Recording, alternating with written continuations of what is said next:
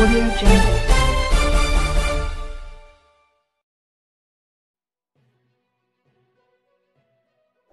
Salam sejahtera, berita hari ini dipetik dari Malaysia Gazette. Mahkamah Persekutuan tambah hari pendengaran semakan keputusan kes SRC Najib.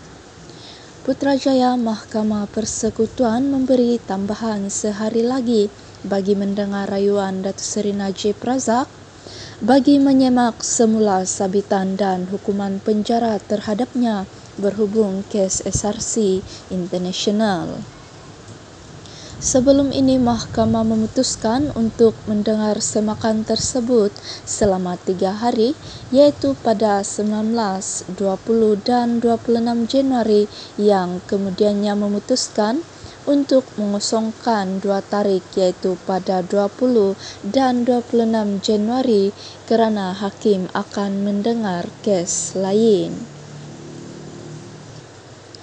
Pada prosiding hari ini, Hakim Besar Sabadan Sarawak, Dato' Abdul Rahman Sebli yang mengetuai panel lima hakim menetapkan sambungan kes pada 20, 21 dan 22 Januari depan menjadikan keseluruhan selama empat hari.